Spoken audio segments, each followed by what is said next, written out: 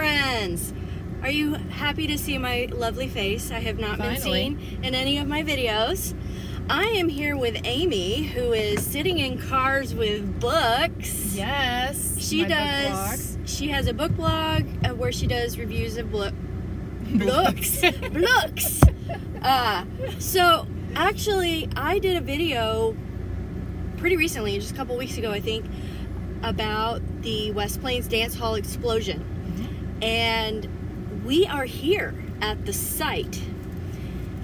Yes, So we both read Daniel Woodrell's book, The Maid's Version, which was inspired by the dance hall explosion in West Plains. Would you like to talk a little bit about Daniel Woodrell? Sure. And I will be doing a little bit more detailed review of this, but we'll just kind of gloss over some of it uh, at first. But Woodrell is a local Ozarks author, and you might be more familiar with some of his other titles. Uh, Winter's Bone takes place in the Ozark. It was made into a film. Um, and then also the film uh, Ride with the Devil was based on one of his novels. Um, uh, what was that one Whoa, called? whoa. Something about Woe. to live or something like that. I have not read that one. I'll have to look into it. But it was made into the film Ride with the Devil. I think the novel came out in 1986. This novel came out in 2013. Um, as we stated, he is a local Ozarks author, so that is kind of he's from Springfield, which is about a little over an hour uh, from where we are Hour right and a now. half hour and a half from West Plains. Depending on what side of town you're going to. Now he did change a lot of the details. It's very obvious this is inspired. He changed the name of the dance hall in the book. It's called the Arbor Dance Hall. Uh, the blast happened in 1929, which the the real blast was the Bond Dance Hall happened in April of 1928. Um, and change some of the details. It's very obvious, I think, to you as the historian, you would probably agree that some of the characters in the book, the peripheral characters, the main storyline, he kind of creates his own little fictional universe, but he does mention some peripheral characters who were killed in the fictional blast who bear some pretty striking similarities to the, the lives of some of the people who who were claimed by this this uh, tragedy. Um, so look for my review to come out of this book, but that is the inspiration for uh, the the Bond Dance Hall explosion. Was the inspiration for this book by Daniel Woodrell? Um, Let's go see where it Yep, happened. let's go look, take a look at the site. So this is the post office. It was built in the 1940s, but somewhere in this region, right here, was the site of the Bond Dance Hall. And I'm going to include a picture of the dance hall before the atrocity. Over this way, this building right here was here at the time all of the windows in the upper floor were blown out and we encountered a super nice gentleman just Chase.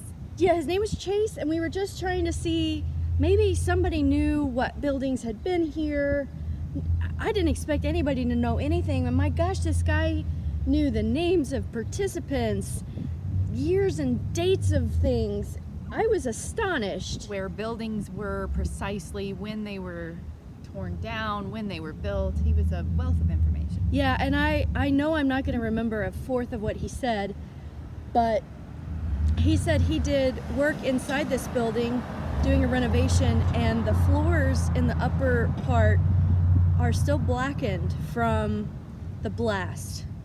Which there would have been a couple of buildings in between there, he said, but it would have been close. Uh, I'm not sure if it was the exact side of the post office or somewhere in this. I don't think this street was there at the time. So it, I believe it would be right there, kind of central to where the street is. yes. So just to give an, a, a little refresher, I would recommend watching my first video, but this was a just horrific event. There were about 60 people at the dance. They held it every Friday. It was organized by the Martin family. Sula Martin, do you remember the husband's name? E.G. RG. RG, RG Martin. And they had a daughter, Dimples, who was playing the piano that night. The band had canceled, and so three locals were they were filling in for the band that had canceled. and two of the three of them died in the explosion. Downstairs, there was a garage, and they 80 years later we still have no idea nobody knows what happened and there are a lot of people who have theories but no one knows for sure but something exploded in that garage all of the people caught inside the survivors reported flying into the air and then falling so they fell down into the basement, into all of these flames. Most people had absolutely no chance whatsoever of getting out.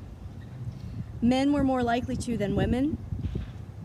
Some of that was luck on where they were located. If they were near the edge toward the street, they might have been lucky enough to have been blown out of the building. One guy actually grabbed a hold of a wire and was hanging from a wire. And they caught him. They said let go and bystanders caught him. But a lot of women just, their clothing was so flammable. Men were protected more than women, and it said a lot of them had the clothing blown off of them or it had burned off of them. They were found in just tatters of clothing. So here we are behind the dance hall. You can see in this photo here no Jones, it says NY Jones on that sign, had a building back here, and on the bottom floor were some businesses, and on the top floor were apartments. And people in those apartments had to get off of that upper floor. They caught fire immediately. My first video tells a story about a married couple who had a brand new baby girl and they barely got out with their lives. Both parents were burned. The baby was not, thankfully. This lot was empty at the time, and according to the friend we made, Mr. Chase, this is where they put the bodies. It served served as the temporary morgue. So they just would find them in the wreckage behind us and then take them over there. Wasn't a whole lot to find for most of them. Rescue was impossible. That's what makes this so heartbreaking. Anyone who witnessed this and came and wanted, they knew the people in there, they could hear them screaming and crying and asking for help. And there was literally nothing they could do except stand and listen. I cannot imagine the PTSD some of these people must have had from witnessing this. Somewhere in this vicinity would have been the Arcade Hotel. Again, a lot of people witnessed the event from the Arcade Hotel. There was one witness who was just thinking to himself right before it happened, those young people sure are having a good time. And then the world blew up. There was a guy blown out of a chair sitting in the hotel it blew out all the windows. I mean, people heard this 30 miles away in Thayer. People heard this explosion. Just amazing. This is Okay, the so this office. is 202. This is the offices of the newspaper. I believe the vast majority of the articles I read were from the Gazette, which was housed right here. I'm gonna go across the street so you guys can see this better. 202. Here's a better view of the Gazette office, which is now a law office. Anyone know what 19 divided by Zorn divided by 12 equals? Because I don't. I'm not sure what number Zorn is. Sounds like a. It sounds like a villain in a comic book.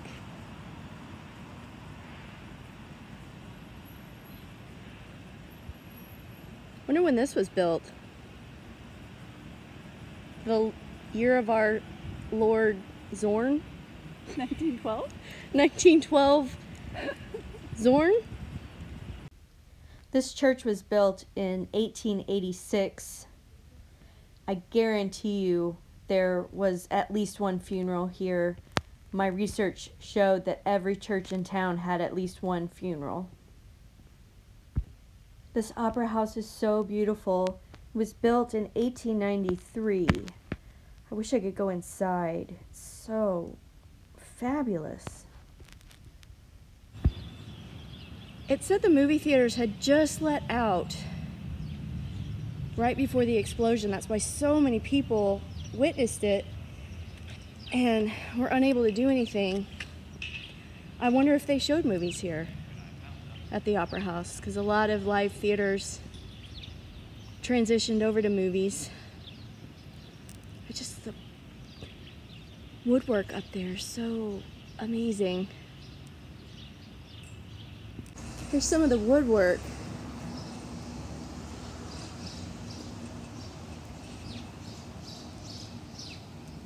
This is the floor in front of the Opera House. Looking inside the windows, this floor continues inside. This is the front of that bank that would have been here at the time. West Plains Bank, I think was what it was I called. believe so. According to the papers. Uh, now so- West Plains Bank has moved to the building next door. Right, this is West Plains Bank now. But then it would have been here. And it had damage. I'm guessing probably windows blown out. I bet most of these buildings had some windows blown out. I still, I mean, the top of that looks a little charred to me, but that could be Which one? of the bank. Oh. See, it's, it's blackened on the It top, does. I- just could be it- age, Yeah, it could. It's hard to know. But it would have been in pretty close proximity to Very close. where the blast. Because the blast would have been right there. You can see the post office. We are standing by the courthouse. And I don't even know if it's legal to show a courthouse, so I'm not going to show a big part of it. But this courthouse is new because the blast down that street destroyed the 45 year old courthouse that was here at the time. They abandoned it. They had to rent another building, which they used until one was a courthouse was rebuilt here in 1935. I really wonder if this is burn damage. This is the building he was telling us these windows were blown out and he did work in there and the floors are blackened from burning. We are standing on the spot so that's how far away the courthouse was. And basically it cracked the foundation so badly, they just it wasn't safe to use anymore. An architect came from Springfield. His name was Heckenlively. If you've seen my video about the funeral of John Goad, he led the procession for that funeral. And so in 28, six years after that funeral, he came here to check out the courthouse to see if it was safe to inhabit, and he determined that it was not. We found Zorn! Here we are at this really nice memorial for the unidentified. There were 20 of them. One of them was actually identified. Mabel Riley was identified. Sadly, her husband, James Esco Riley, was not. So, to keep her with her husband, Mabel was buried with the other unidentified. So, there are 20 people here, 19 of whom could not be. Sadly, none of the articles I read in my research said anything about Mary Violet Adair or her experiences. I feel a real kinship with her because, frankly, when I look at a picture of her, I see myself. And I mean a literal physical resemblance. You look at me, you are looking at what she would have looked like at 40 years old. At the dawn of a new day, when the shadows flee away. Their community has not forgotten them. There's some really pretty flowers left for them. Amy asked me if any other victims were buried here, and the answer is yes. If they were local and they were identified, they were buried with their families. The same goes for people who were visiting from other places. A lot of people were home for Easter. So if their bodies were identified, they were taken home to their hometown.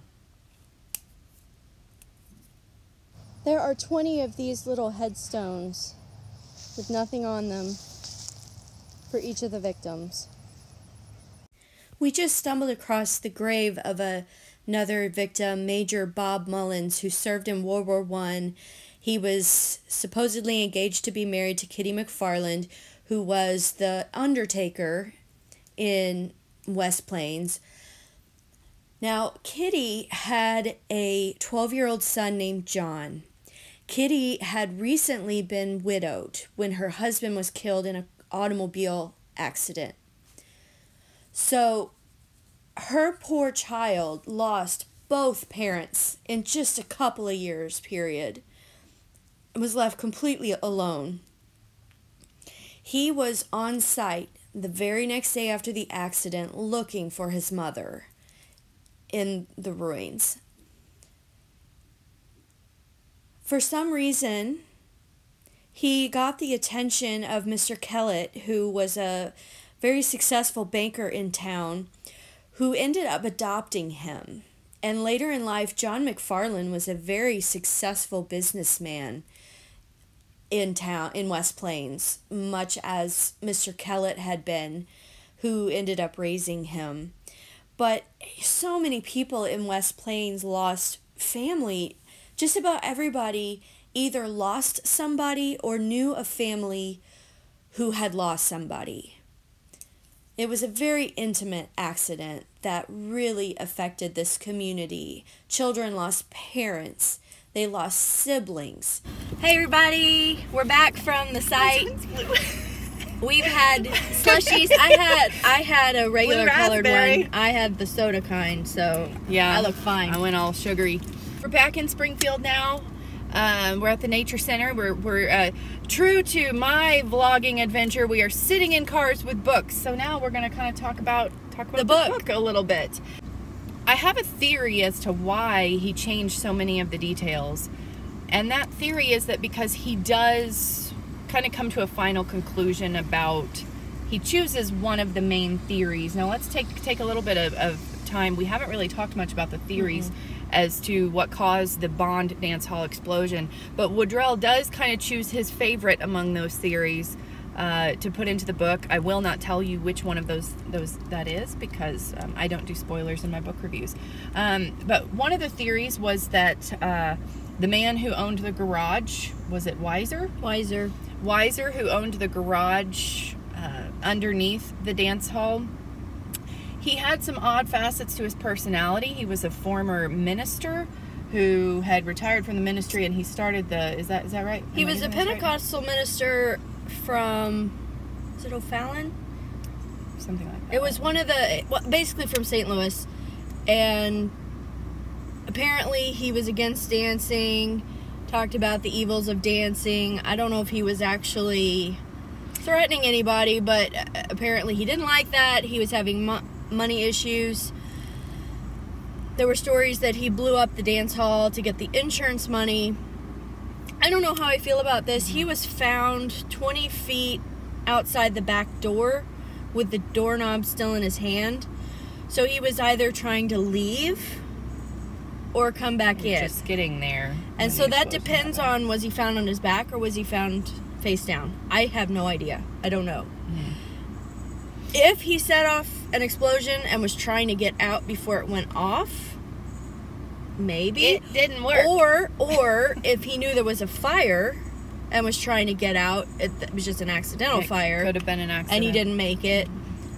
I don't really feel like there was I feel like it was an accident myself. Uh, if he had d- deliberately said it, something went wrong. And also, what horrible person would deliberately set a fire for insurance money when you knew there were 60 people in the building up above you? That's I don't care if you felt like what they were doing was immoral.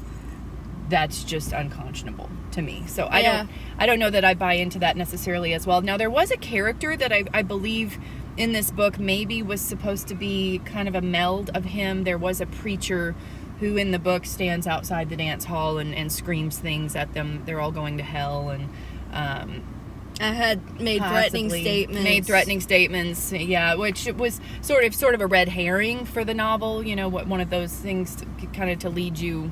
Here are all these possibilities of how this could have started, who could have done it. Um, so another theory, another real theory, which I found quite interesting, was a natural kind of a, a chemistry-based theory that there were possibly gases that mixed together, natural gases underneath the ground that just caused a natural explosion. Mm-hmm. Interesting. You know, there are a lot of sinkholes around here. I, who knows? There's a, a lot of caves, too. I don't know. That seems kind of far fetched to me. I think Uh, that seems far fetched. uh, and a little scary to you just be walking around and then the ground explodes. I don't I don't think I buy Yeah. that. Um, another theory was the jilted lover theory that there could have been somebody there that uh, his former sweetheart was there dancing with another man and in a crime of passion he created this created a fire which got a little out of control um, hopefully didn't mean to blow the entire building up but if that is the case then what a jerk And I don't really like this one either. I feel like it it was it had to have been just some kind of accident with the gasoline and the vehicles in there. I what it could have been, I don't know. No one knows. I'm sure if this happened today with all the experts and the fire marshals we have, they probably could figure it out Yeah, figure it out really pretty quickly, but not then. So, long story short, Woodrell does kind of take one of those theories and uses it, you know, puts it into his book. Um, he he kind of plays off several of them, um, and and like I said, you know, he places some red herrings in there and kind of leads you leads you off in different directions, and then you come back to a certain place. Um, as far as Woodrell's book in general, one thing I will say for him, this man can write. He is a very skilled writer. His uh, prose is effortless. It flows. Beautiful. It's very beautiful prose. At times, you know, I, I have heard other other reviews that I've read on Goodreads. A lot of people find that a bit distracting. That it distracts from the story. There's you've probably heard the term thrown around uh, if you follow some other booktubers purple prose that it's prose that's so ornate so flowery that it distracts from the story and you kind of get lost in it you lose track of characters some people feel that way about at times i think that happened for me um, especially when it came to characters especially when they had the same last name maybe and they were related like they sort of flowed together and it was hard to keep track of who and some of the relationships were fairly similar um, the book is very short. It's just over novella length. It just classifies as a novel, in my opinion. So it's extremely short. It's a quick read. Sometimes you do find yourself going back and reading some passages just to make sure you understood exactly what you were reading.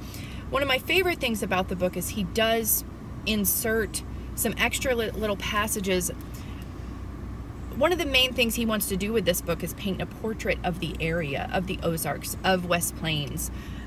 And you know, people who are familiar with West Plains can recognize it even though he gives it a different name. He calls it West Table, but it's it's a portrait of this beautiful country that we live in in in uh, Southwest Missouri. And he picks people from the real historical record and he kind of blends their stories together. Um, you may have talked about some of them earlier in the video, but like the piano player. Sula, Briefly go into Sula. Sula Martin Dimples, uh, or Dimple Martin, was playing the piano that night. The band had canceled. We did talk about this a little bit earlier. And so locals were filling in.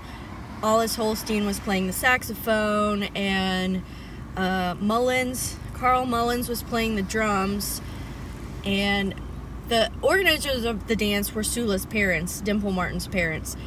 He had a character named Dimple in the book. She was going to the dance for the very first time in her life. In real life, uh, Fisher, Ruth. Ruth Fisher, was went to the dance for the first time in her life. So he took these real people. He kind of switched their names around. He switched their stories around. He did have another character who was playing the piano that night things like that. He also had a couple who were engaged, to be married, and you just get two or three pages that talk about a victim. You don't know m- much more about them other than just their basic mm-hmm. circumstances. I think he was just trying to give a view of who lived there, what kind of people were killed in this. Mm-hmm. Yeah. And he based, I, I could tell, having done so much research, research on it, I could tell who he was inspired yeah. by. Yeah. Sort of in homage to the real event and the real people who lost their lives. And so he places these these tiny chapters, short little vignettes about each person in amongst the the more salacious story that he's created. It is quite salacious. Um, I will never think of the word squirting the same way again after some of the the scenes in this book. Um, so beautiful prose. Uh, he paints beautiful pictures of character. My favorite thing about this was the way that he introduced the character. Uh, the story is told uh, from the perspective of Alec, a young man who's gone to spend some time with his grandmother, who has often not really been present. She's been in and out of care homes and things like that. She's kind of losing her memories. She's falling into dementia a little bit. Um, but she's telling him her history. She's going into a lot of the stories that have shaped her as a human being. And her sister was one of the individuals. This is a very fictional character. Ruby um, was not a real victim of this explosion. And I don't think she was inspired by anybody She was real. not. Hopefully not, because there's some details about Ruby that, that wouldn't wouldn't be very you know good to have out into the world if, if it was your real family member. Um, but she's she's explaining the things that happened in her history, including losing her sister in the explosion uh, of the dance hall. And one of the most beautiful for both of us, we talked about the scenes in it, um, was when they had the funeral for the members of the dance hall explosion. And so many of the bodies, and this happened in real life, they could not be identified. They didn't know what went with each individual. They had no idea who these people were, except for the fact that they were missing. They knew that they were there. So the people in the coffins are just anonymous human bodies. And at the funeral, Alma is going through, and because she doesn't know which coffin her sister's remains are in, she goes through and she kisses each one one by one. It's little character details like that that I feel like are the strength of this book, and beautiful details that paint a really pretty picture of what happened in this book.